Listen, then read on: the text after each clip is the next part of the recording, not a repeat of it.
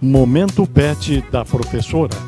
Oferecimento: Clínica Veterinária da professora Cláudia Bonini e Invete Intensivismo e Nefrologia.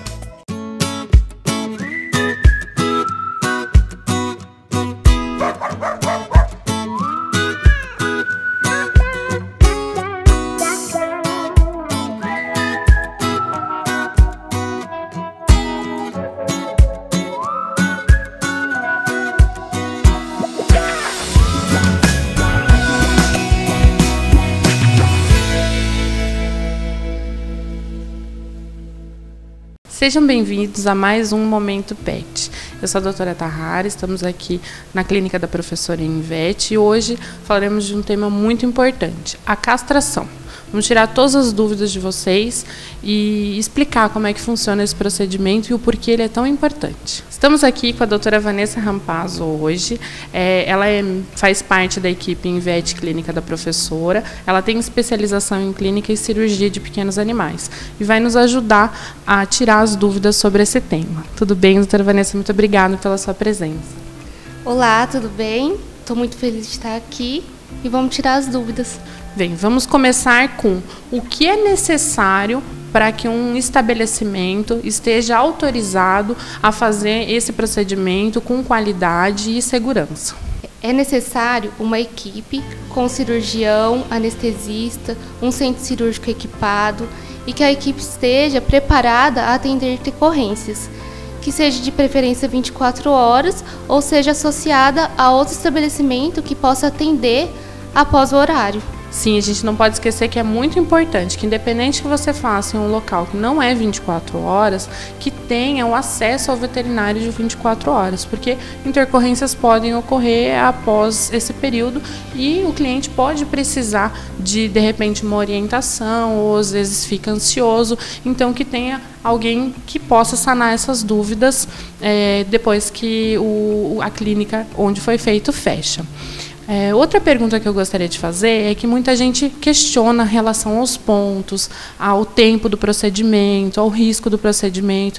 Então, eu gostaria que, se você pudesse, doutora Vanessa, explicasse para a gente como que é feito esse procedimento e que isso evoluiu muito durante os anos. Hoje a gente tem um, um procedimento diferente do que era feito há 10 anos atrás, inclusive é, a questão da cirurgia minimamente invasiva e o porquê e como que é feito tudo isso.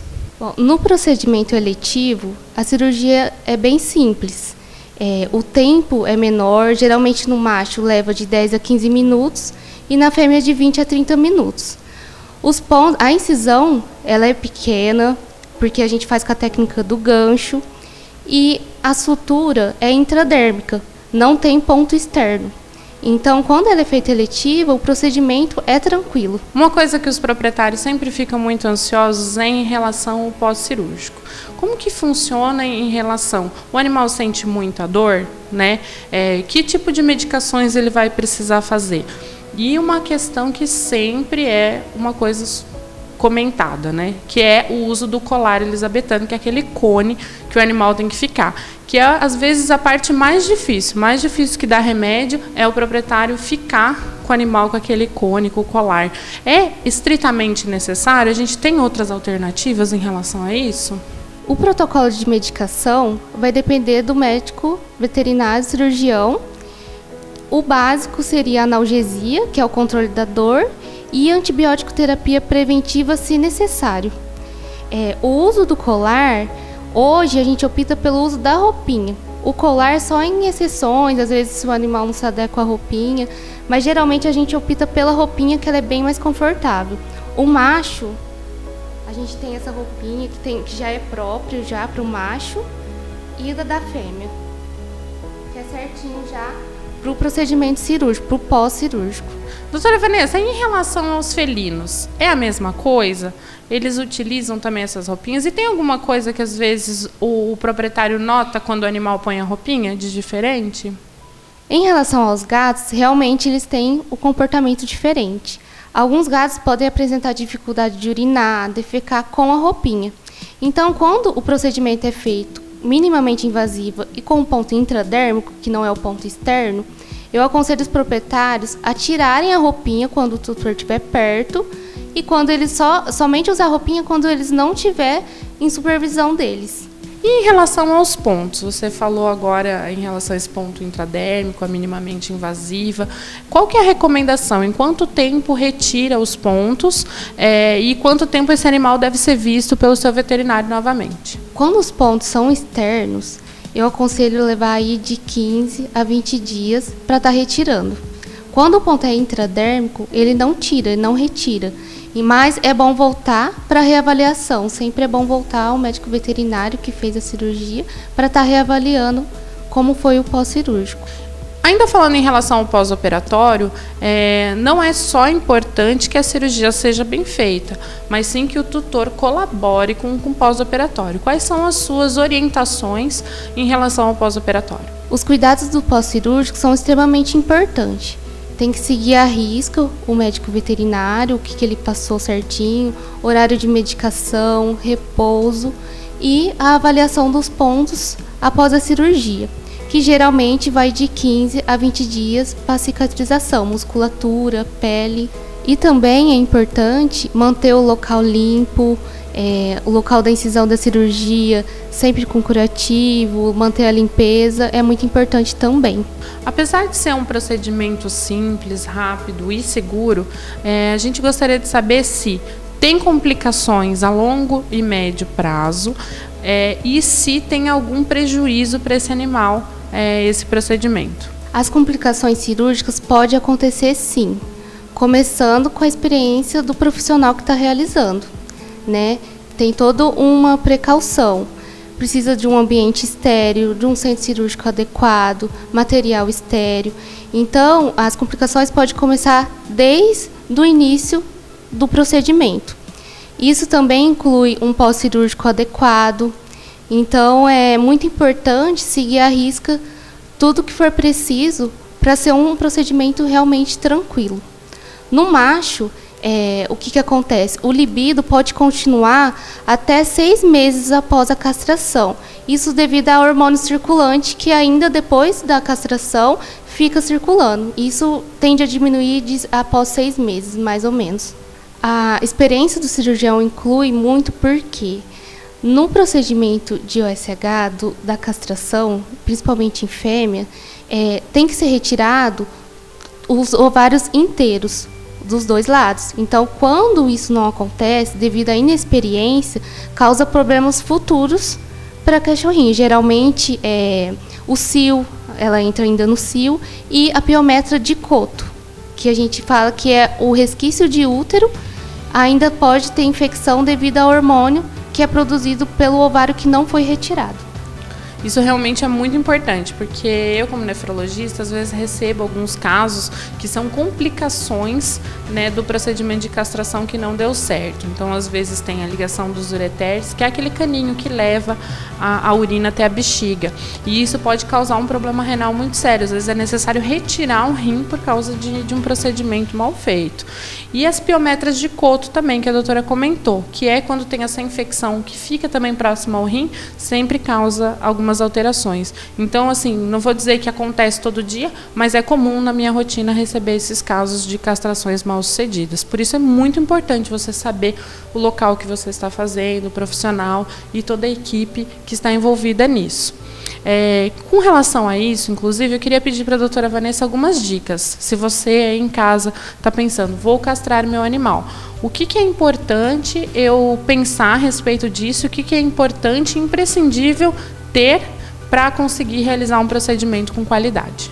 Primeiramente, a gente precisa procurar um médico veterinário para estar tá retirando todas as dúvidas, marca uma consulta, é, isso para estar tá avaliando, fazendo todo um check-up antes de estar tá marcando o procedimento. É muito importante ter um médico de confiança, né, para retirar todas as dúvidas, para você ficar mais confiante para o procedimento um centro médico equipado, que tenha todos os equipamentos que possa atender qualquer intercorrência no procedimento cirúrgico.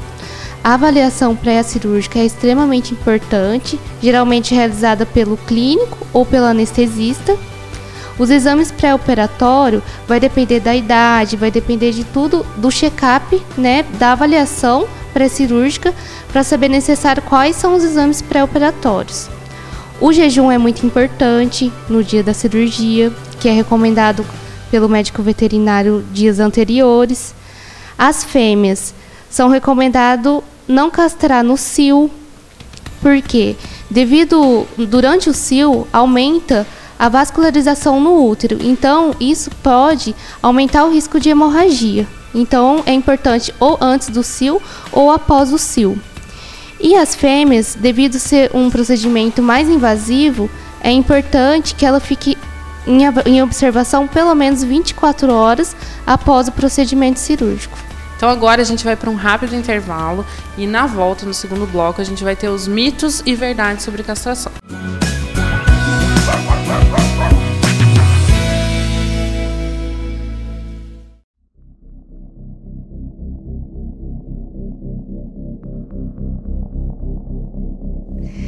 É, quando eu conheci ele pela primeira vez, eu vi, eu, eu, eu senti pelos olhos dele que ele estava precisando de mim, que ele estava precisando da minha ajuda. Ele tinha 20 quilos abaixo do peso dele ideal. É, ele não conseguia enxergar muito bem, ele não conseguia andar. Foi, foi bem difícil no início. Quando a doutora me deu o diagnóstico é, da doença dela, eu fiquei muito triste, fiquei muito preocupada. Me veio a lembrança de uma perda anterior né, que eu tive e realmente foi dramático. Cogitar a possibilidade de passar de novo por uma situação que já tinha me trazido muita dor e muita tristeza.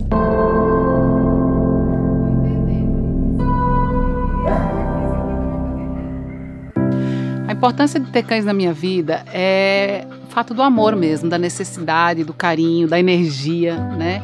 Eu não imagino uma casa sem um animal doméstico, principalmente sem um cachorro. A Terabyte chegou na minha vida no momento em que eu perdi um, a Megabyte, e aí a gente queria mais uma cachorrinha, conseguimos ela por indicação de um amigo e ela veio para nossa vida para dar alegria. Foi um trabalho da um que eu conheci Raul.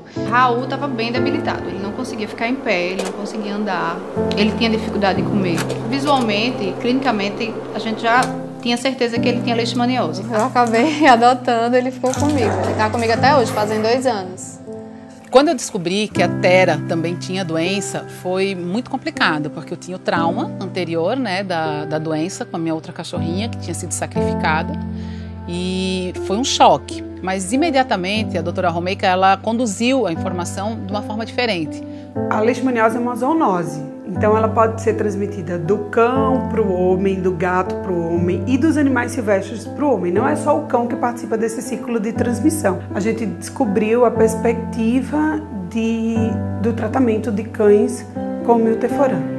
Hoje não é mais necessário que a gente sacrifique os animais. Existe a perspectiva terapêutica.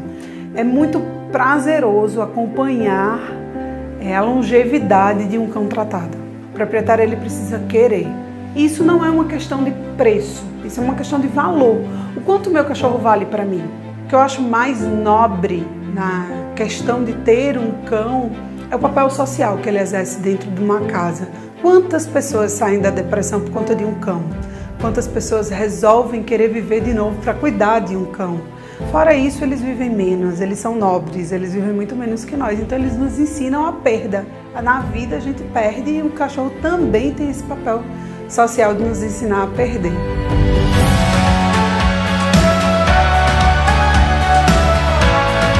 Depois desse susto de ter, ter visto tudo o que aconteceu com a Mega, né? Realmente a gente poder é, conviver com a Terabyte normalmente, sem nenhuma sequela, sem nenhum sintoma da doença, é um motivo de muita alegria. Ele é um cão muito especial. E, e parece que ele sempre traz aquele olharzinho de gratidão, vou começar a chorar. aquele olharzinho de gratidão pelo que foi feito por ele. Ele é incrível, incrível.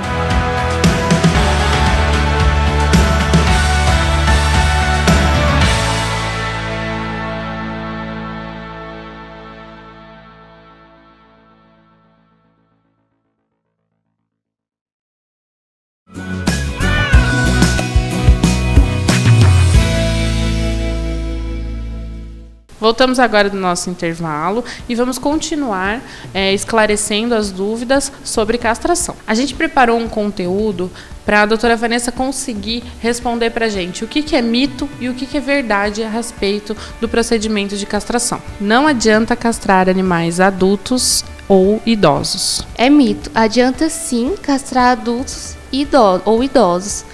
Isso a gente evita muitas doenças no macho, os tumores benignos de próstata e na fêmea, a piometra, que é a infecção uterina, além das doenças transmissíveis, sexualmente transmissíveis. E a anestesia de animais idosos é segura, desde que faça todo o check-up que a gente comentou anteriormente. Castrar as cadelas garante que elas não apresentem câncer de mama? É mito. Quando a fêmea é castrada antes do primeiro cio, geralmente nos seis meses, a gente consegue reduzir em 90% a chance dela apresentar o câncer de mama. O tumor em cadelas geralmente acontece por estímulo hormonal. Então, a cada cio que ela apresenta, aumenta a porcentagem dela apresentar futuramente o câncer de mama. A castração torna os gatos mais caseiros?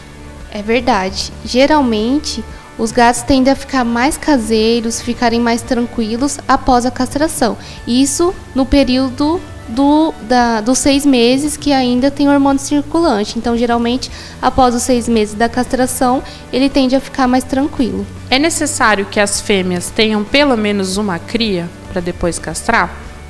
É mito. Como eu falei anteriormente, as fêmeas, elas devem, para reduzir 90%, mais de 90% da chance dela apresentar o tumor de mama, é, é necessário castrar ela antes do primeiro cio. Mas também que gira, em, que gira em torno de seis meses. Mas também antes dos seis meses também não é recomendado o desenvolvimento do animal. Então é recomendado antes do primeiro do cio, porém menos que seis meses não é recomendado. Cães castrados podem ficar obesos? É verdade. Devido à diminuição do metabolismo, deles ficarem mais tranquilos e eles terem uma tendência à, à, à obesidade. Porém, isso pode reduzir se tiver um acompanhamento veterinário. A castração aumenta o tempo de vida dos pets? Verdade. Como a gente estava falando, a castração ela previne várias doenças. Uma delas o tumor de mama, o tumor de próstata, além de deixar os animais mais tranquilos. Isso evita atropelamentos, principalmente nos gatos que costumam ir para a rua, evita atropelamento, além do controle populacional devido ao aumento de cães abandonados, cães e gatos abandonados. Então isso ajuda no controle populacional também, que é muito importante. Todas essas questões são muito importantes. É, a castração é uma maneira preventiva, super importante para a gente prevenir essa superpopulação desses animais de rua e até mesmo do seu pet, para que diminua as doenças e a probabilidade de ele ter algum problema. Então eu queria agradecer muito a doutora Vanessa, que faz parte da nossa equipe, esteja aqui hoje com a gente para esclarecer todas essas dúvidas, né? E se surgirem mais dúvidas, vocês também podem mandar para o nosso e-mail e a gente vai tentando tentando responder o quanto antes. Muito obrigada, doutora Vanessa. Eu que agradeço e eu espero ter tirado algumas dúvidas de vocês sobre a castração. Queria agradecer a presença de todos por terem ficado conosco aqui durante o nosso programa. Espero que tenha sido muito válido para todo mundo. E não esqueçam, a clínica da professora Invete, você ama e a gente cuida.